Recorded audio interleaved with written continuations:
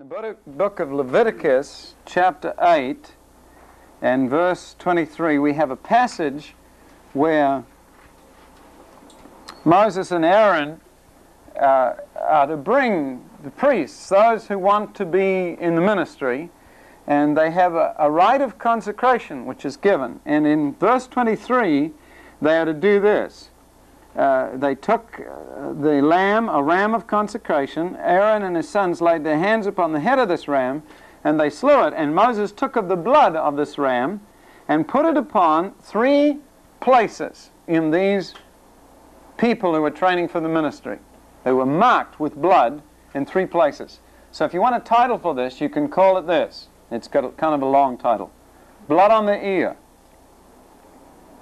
blood on the hand, and blood on the foot, because that's where they put it.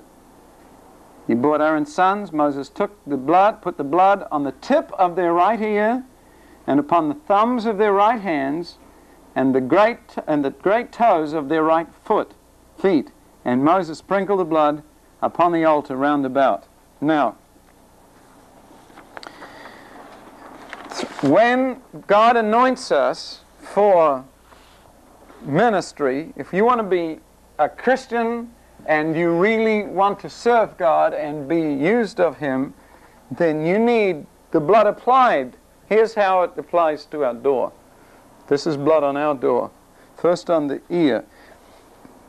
These three parts of the body are object lessons which will help you day by day to remember what it means to give your life to God. The ear the Scripture speaks many, many times about the hearing heart. He that hath ears to hear, let him hear, Jesus said so many times. In Isaiah 55, 3, hear and your soul shall live. Uh, Isaiah 55, 3. Amos 8, 11, there will come a time when there is a famine of hearing of the Word of God. Now, uh, the Bible warns us against being dull of hearing. Hebrews 5.11, seeing you become dull of hearing. Uh, blood on the ear has to deal, has to do with a hearing heart. And a hearing heart comes from a clean conscience. You will never get clear guidance with a dirty conscience. And the key principle, which you've already looked at in the counterfeit conversion series a little bit, is honesty. That's how you get uh, the first step to getting a hearing heart is absolute honesty with God, becoming honest. That's probably the most difficult part of the whole thing, is getting honest with God. And the only person who can make you honest with Him is the Holy Spirit.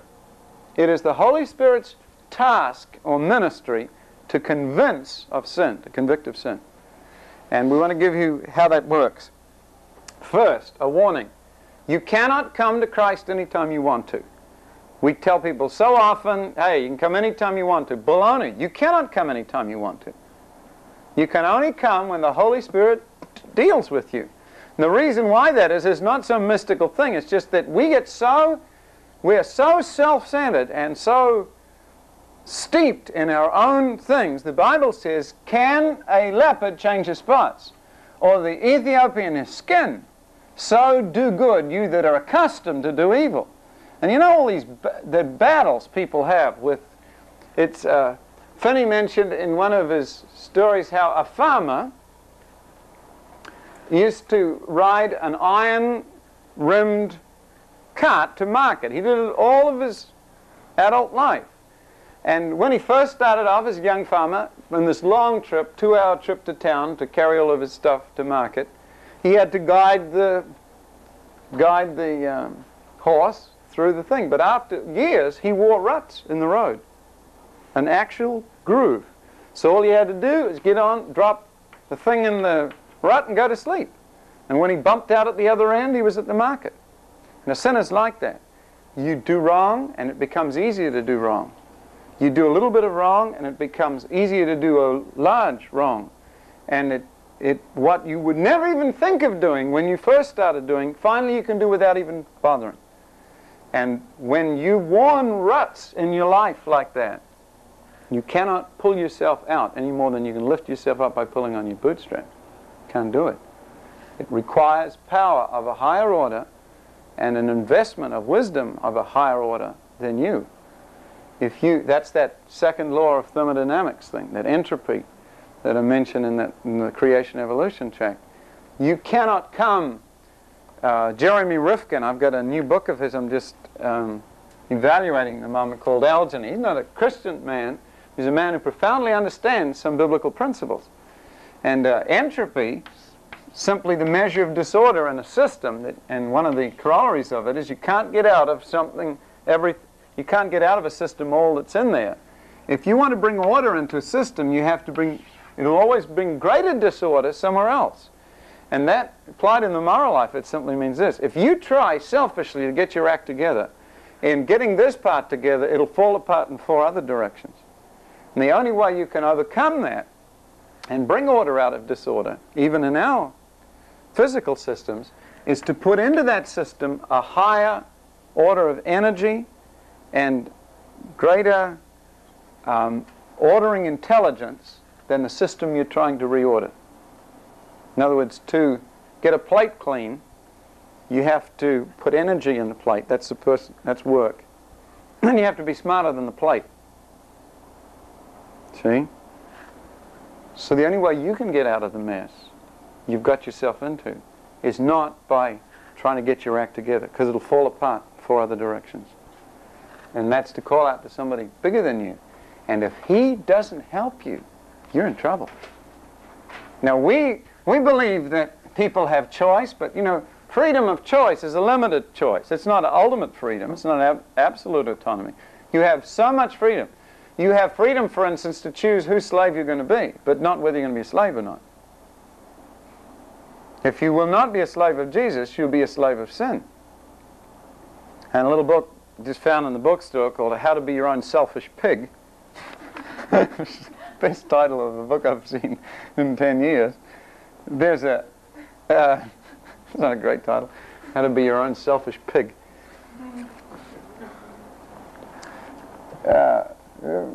There's a, a, a, line from a, from, a, from a song, Christian Jesus music band.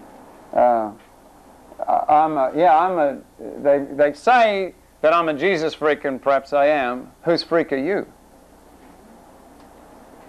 So you will be a slave. If not of Jesus, you'll be a slave of your own lusts.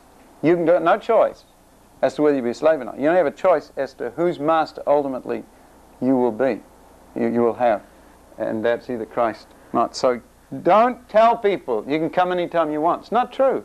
You can only come when the Holy Ghost deals with you. You grieve him away and you're sunk. Immediately, I have to say this, because I have 50 people come up. I think that's, I've done it. It's me.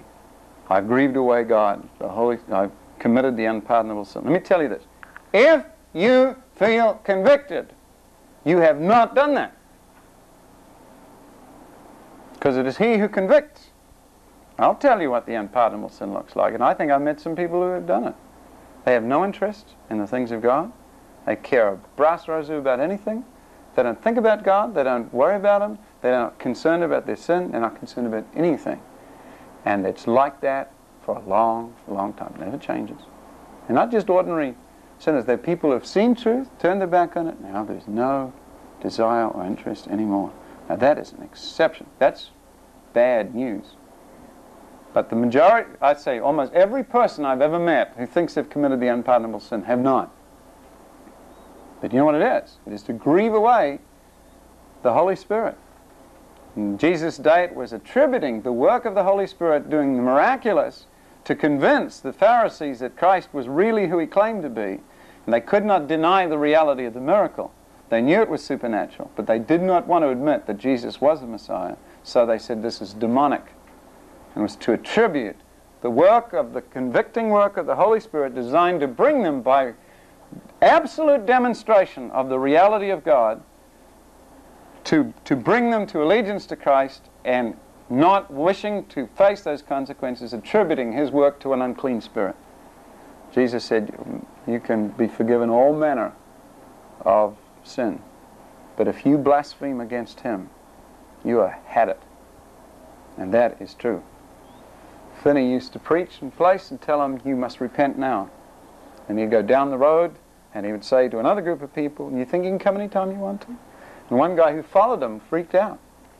He heard him preach in one church, said, You come anytime, you know, obey now while God, see, and then next church he heard him say, You think you can come any anytime you want to? And he said afterwards, What you know, what is this? But you see, one group of people are just fatalists. They're sitting there, if God wants to use me, he knows my number. You know, uh, anytime he wants to reveal himself to me in any special way, I'll get saved. And completely denying responsibility. Another group of people are basically humanists, sitting there, hey, you know, we can do, we can fool around, and we can always turn the song, he'll always say, I forgive. Baloney. There comes a time when you can grieve him away. Hearing heart. Now, uh, Scripture says, Romans 10 17, faith comes by hearing, and hearing by the Word of God. The thing we, we want to uh, tons of scripture. John 8 47, He that is of God hears God's words. My sheep hear my voice, and I know them, that hearing her. Uh, he that hears my words and believes on him that sent me shall not come into condemnation but is passed from death to life. Now, here's the key part on this honesty thing. Uh, like, we can call it a divine audit. And nobody likes the IRS. They're probably the Antichrist, you know, but the, an audit, that's a scary thing. You are going to be audited, signed, your local Antichrist. Uh, an audit is, uh, you know, where they call all of your books in and go through everything you've ever done for the till since you were one. You know, it's that thing.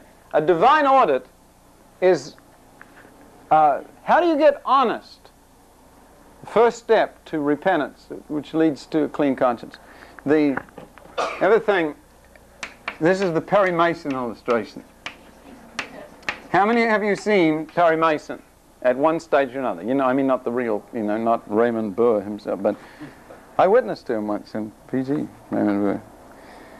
Told him the best thing he ever did was the Psalms. Late night TV buffs would know about the Psalms.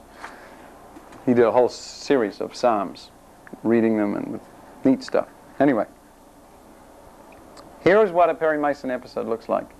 If you have not seen one, you only have to see one, and that's it. All of them are exactly the same, only the names have changed to protect the program. Uh, in it, somebody who's usually killed it starts off with, you know, robbery or something, but somebody usually dies. And it just looks like the girl that Perry Mason has to defend, it's usually a girl, uh, sometimes a man, but is obviously guilty.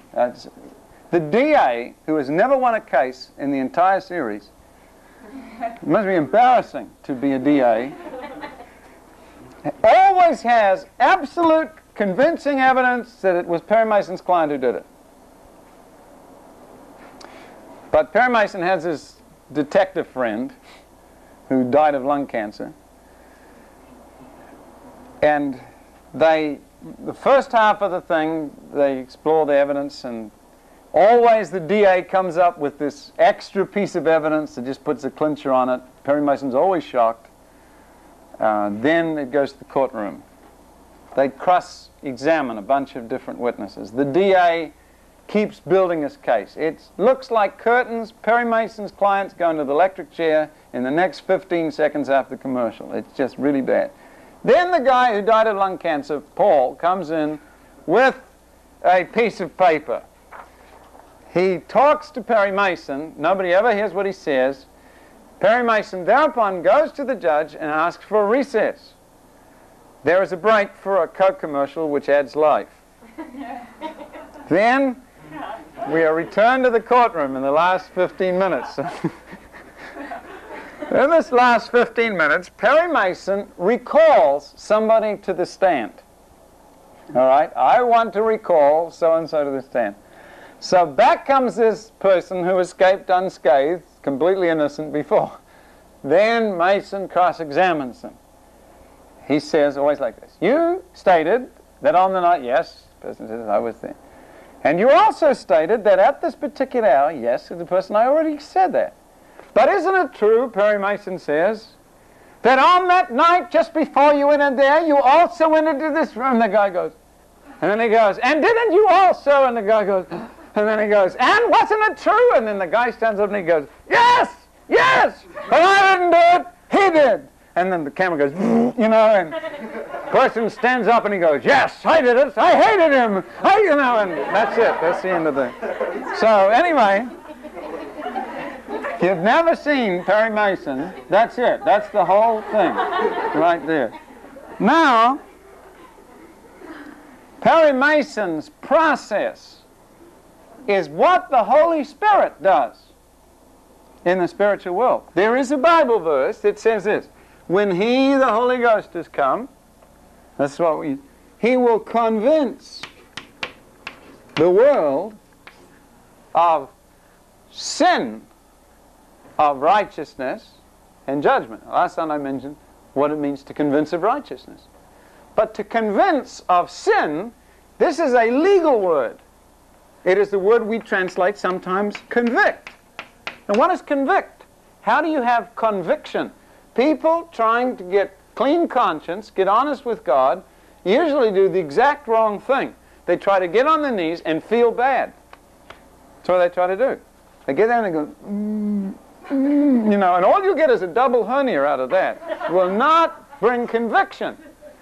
The Bible word convict is a Perry Mason type word. And what it means is this to sum up all the evidence, fact by fact, and to present it before the mind. And you were designed like this. You cannot command emotion. Say, feel sad, feel happy. You're going, ah, oh. See, the only way you can do that is to, by choice, conjure up some image that's sad, you know, or happy, and then make with the, the thought passing through the mind. That's method acting, you know. You, you get into the situation, you see that, and then the feelings come out of it. But most people trying to get proper conviction over their sin and deep repentance, they do all the wrong things. They get down and try to command feelings. You can't do that. The way to do it is to let the Holy Spirit, who is the best lawyer in the universe, fact by fact, present to you your departures from obedience to the living God. and the best way I know to do that is maybe get a sheet of paper, get along with God. And you don't do this every day. But Finney said a weird thing. He said Christians need to be frequently reconverted. Now, what did he mean by that? He meant that you you go out and you get your your heart gets hard, your hearing gets dull, and you need to when it gets like that for you, and there's no breakthroughs. And what I'm saying, you know there's wrong things in your life. Not just, you know, the Lord hasn't spoken to you in a voice since yesterday.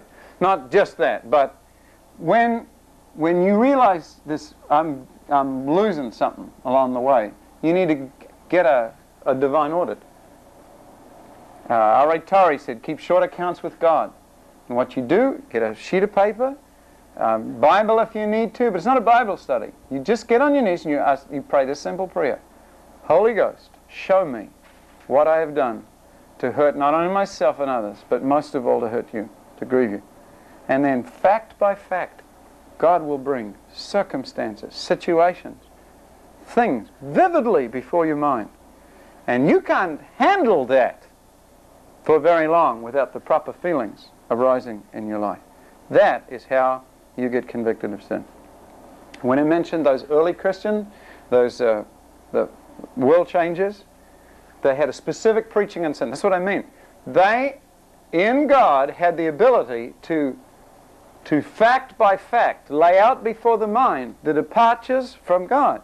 Any ministry with a prophetic edge in it has that ability to practically lay out before people's minds their departure from the living God. And that must be preached if we're going to see conviction. When a person has had that um, honesty with God, that honesty comes, you realize I'm My God, I'm worse than I ever thought I was. See? That is the first step to a clean conscience. Neat thing. All right? That's that. And uh, second, and really fast. Done. I took a bit more time on that one, but the, that was blood on the ear. Second one is blood on the hand. Now, what is the hand? The ear, what you hear with. What is the hand a symbol of? What, what do you do with hands? Action.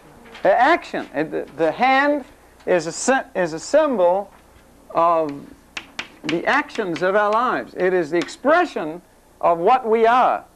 Now, I am part French in my grandmother's side, and if you cut my hands off, I don't think I could talk anymore. Do you know what I mean? I have to. this is part of the speech for me. I don't, I don't know how to talk like that. That's why I, hate, I have to have a throat mic. If I have to carry something, it's like I'm, I'm stuttering or something. I, what is this thing in my... And the hand, blood on the hand, speaks of cleansed actions. Now, there are practical things. The scripture speaks not the hearers of the law are just, but the doers. Be doers of the word, not hearers only. We've already mentioned that. Perhaps the hand and the eye are the costliest parts of the body to lose. Our friend next door neighbor back in New Zealand had one of these little dumb power saws, you know, that, that eat up more hands than probably anything else. And he, you know, he's a pretty good carpenter and stuff, but I think he, the, he tripped over the cable or something, and the thing flipped back and just sawed this part of us like this. And there is his, you know, just this. So he really lost his thumb and that finger. And it, having th three fingers like that is a, you cannot believe what happens if you lose your thumb. You know, this is one of the most incredible inventions God ever made. You know, patented for man and designed a few monkeys and stuff with the same. But the opposed thumb is an incredible thing, and the blood went on the thumb. See, that's the key to the action. Now, the scripture says that it is the hands that commit most of the motions of sin, the carrying out of actions of sin. The scriptures speak about cleanse your hands, ye sinners. And when you think about it,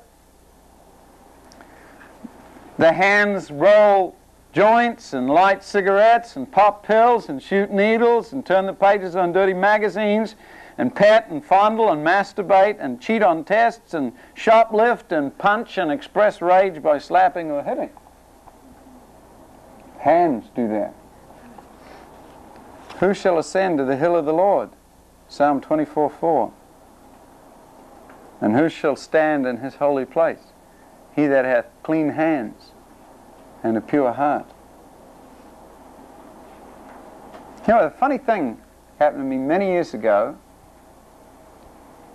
A little illustration of God. I had to play in a tennis tournament. You seen Chariots of Fire?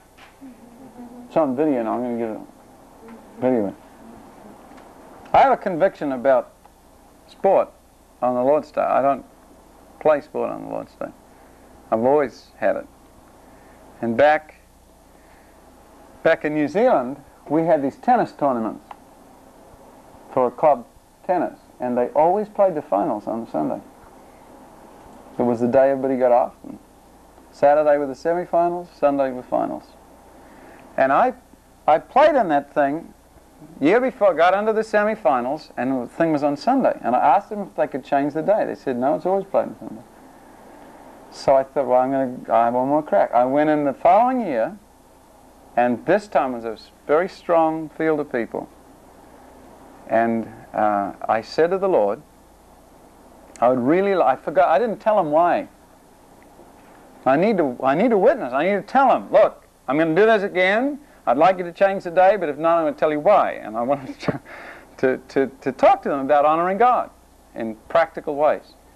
And, uh, you know, an unsaved tennis team, are all, you know, and this. Anyway, got up that morning and I was going to Bible read. reading, just, you know, nervous, and I open the thing up, and, and it's, it's in Job. And it says, it's a wild scripture. Um, it talked about um, he that hath clean hands, the righteous, it said, shall hold on to his way. And he that hath clean hands shall be stronger and stronger. And it was a weird. I went up, I have three or four tennis rackets. One of them, the racket I use mostly, has had a row of black tape on the bottom of it. When you played with it, the bottom half of your hand got black. The other one is one I had not used very much. It was a looser strung racket, but it had a cloth grip on it. And when you played, it actually, dirt from your hand came off on the towel on this thing. So I went out, I washed my hands, and I took this loose racket with me down to the, the court instead of my other more tightly strung one. I played, first, you know, first guy I played was simple. Second guy was a club champion, number one guy. In the second round, all right, and I, everybody said this is going to be a short game.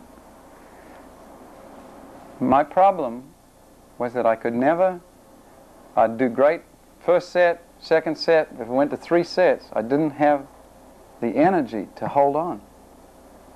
When I got out, this guy had a brand new racket. He was, he's, he just come back from Hawaii, was all bronzed and ready to, you know, one of these kind of. I came trailing out there with my little old racket. And I beat him 6 2, 6 3, 6 4, straight sets. And what happened, he had a, his racket was newly strung, see? And because I didn't have a tight racket, I couldn't play net and stuff. I had to play a long, loopy game, and everything he hit, he overhit, and it went all And he said, every time I've ever played for you, you don't play like this. Why do you play like that? And he asked me, so I told him. I said, this morning, as I was reading my Bible, see, I made it through to the semifinals. And then they said, you be here tomorrow. I said, no, and let me tell you why. And I told them about this conviction of not. I said, this is a day I set aside for the worship of the Lord. I don't do it. And the first time in the history of the club, they changed the championships and played on Monday. So that was the only thing I needed to do was get that little witness in. Clean hands. What do you do with your hands? All right? If those hands have been used for wrong, this is how you take revenge on sin. You take the same hands and you use them to take revenge on whatever you did before. You get you smoke, you get cigarettes and go roop, roop, roop, you know, and shred them. You get your drugs, you flush them down the john. You do things with you get your nasty posters and rip them up. You get all your clothes that you're not supposed to be wearing and make bonfires them. You take your rotten records and make frisbees out of them. You do all kinds of neat things with your hands.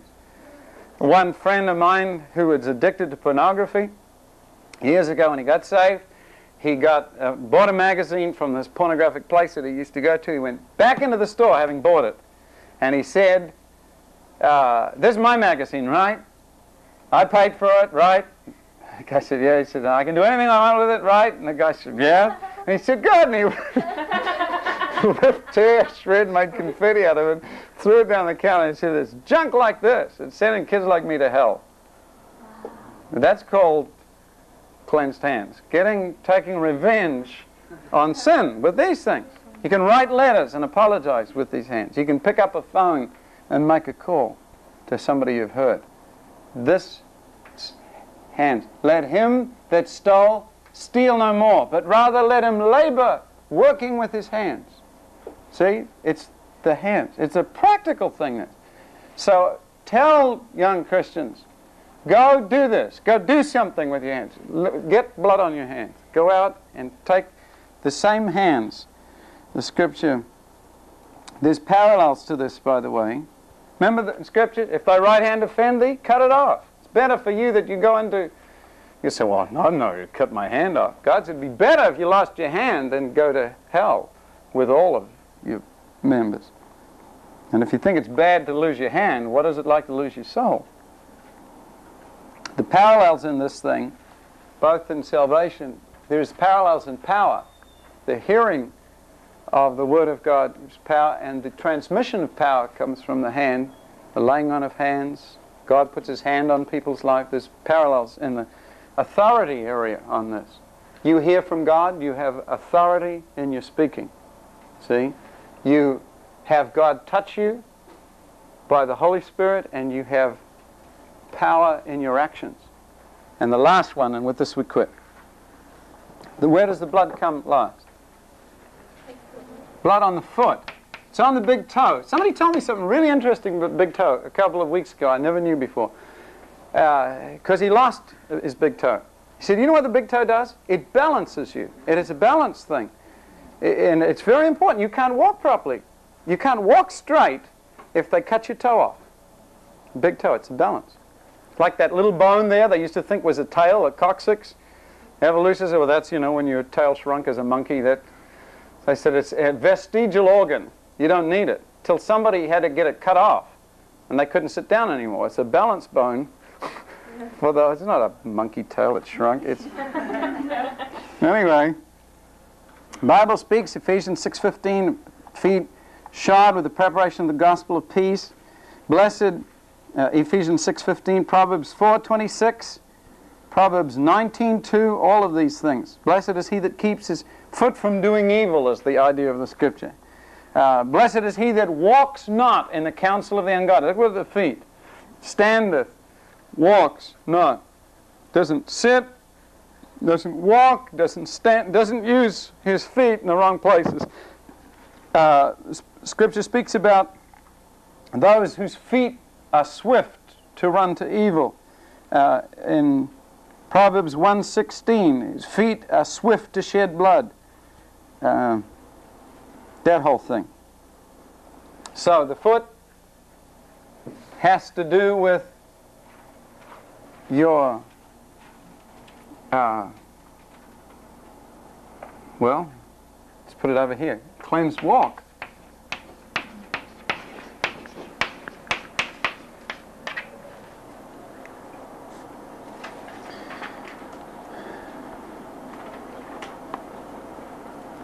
There's a neat thing in running I want to give you. You probably know this, but I wanted to give it to you anyway.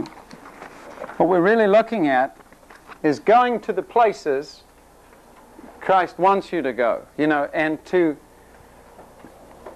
This has to do with the whole feet shod with the preparation of the gospel of peace. Somebody said, if the gospel was narrow, God never would have recommended it for footwear. It's the ability to go it's one thing to have a hearing heart, a clean conscience, and clean hand. But you've got to go to the place where you're needed.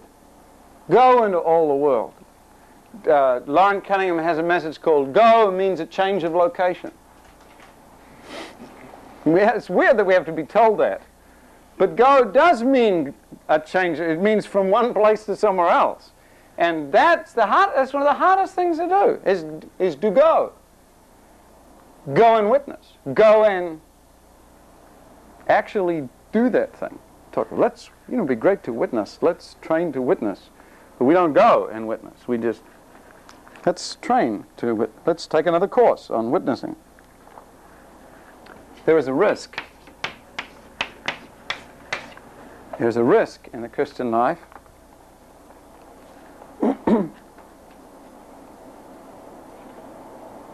And the neat thing I wanted to give you was this thing. Ah! I have to tell you about. Did I tell you about Eric Liddell? I told you about Chariots of Fire. Did I tell you about the thing with his running?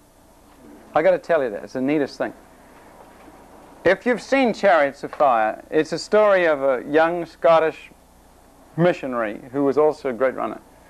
And the, the, the film is about convictions, about people who will not change something even though tremendous pressure is put up against them.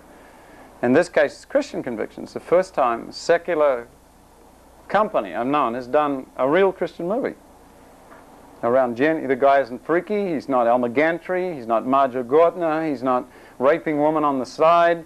He's just plain, nice Christian guy. He's not weird, he's not spooky, he doesn't go around going, Ooh. He is just an ordinary person that loves God, which is totally unusual. And one of the most shocking words in the film was when he said Jesus and meant it. Everybody, oh, what was that? Oh, it's only Jesus. It was the word, not used as a swear word. It was so powerful. People, what is that? That scary thing. See.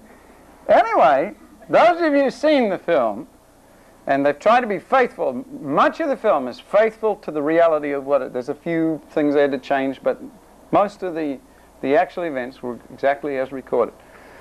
When Liddell ran, no coach in the world today would ever coach people to run like him.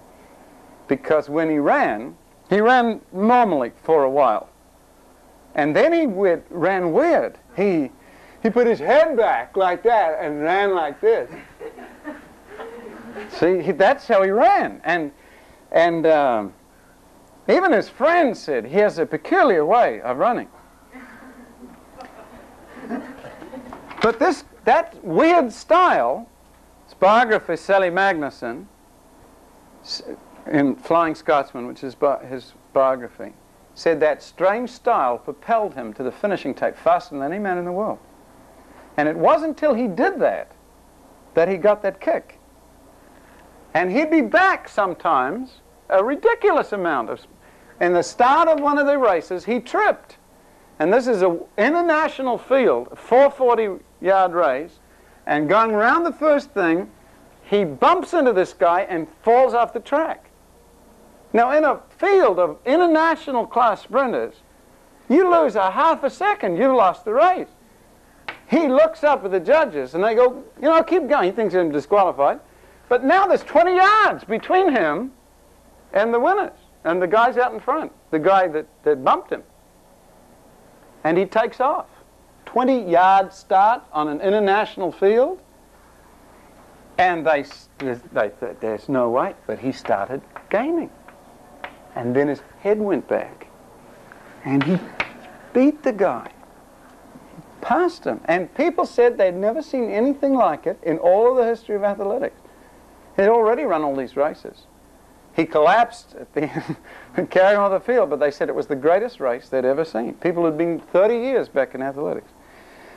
One guy watching, he's back 10 or 15 yards. There's, you know, just the final straight left. And a guy says, he'll never make it. Another guy says to him, his head's not back yet. Whereupon his head went back and he won. Now they said to him, what is your secret? He said, I run the first part of the race as fast as I can. The second one, I run faster with God's help. Now, here's the thing I want to give you. When the guy who was playing Eric Liddell in the film, first he had to learn how to run properly. Then he had to learn to run Eric Liddell's way. He studied movies of him, and he said, he said, I had a terrible problem running because I couldn't figure out how he knew where he was going. When I tried to run like him, I kept falling, bumping into things and running into stuff. He said, I, I couldn't even see where I was going. He said, I, I, for days I didn't understand. He said, about the third day into filming, learning, trying to run like this, he said, I suddenly cottoned on to what he must have done. He said, in drama school, we used to have what they call trust exercises, where you ran blindfolded, straight at a wall, and you trusted that some of the other school would step out and stop you just before you hit the wall. Or they blindfolded you and stood you on a piano and you had to, to fall right off the piano. And there was nobody around there when you were blindfolded. And you had to trust that somebody would come up and catch you before you hit the ground. They call them trust exercises, see? And he said, I suddenly realized that's how Eric Liddell ran. He literally trusted to get there. He didn't see where he's going. He looked at the sky and he said, I could see how that would. He, ran, he just let go and ran utterly relaxed. He said, I could see how that would give him a lot of um, just total freedom in running. But he trusted to get there. Feet. Walk by faith, not by sight. There's a risk in all of the Christian life. But it's the kind of thing that wins races. Let's close. Father, we thank you for blood on the ear and for blood on the thumb and blood on the foot. We want to be people who you can trust. Help us run with patience the race that is set before us, looking unto Jesus, the author and finisher of our faith. Amen.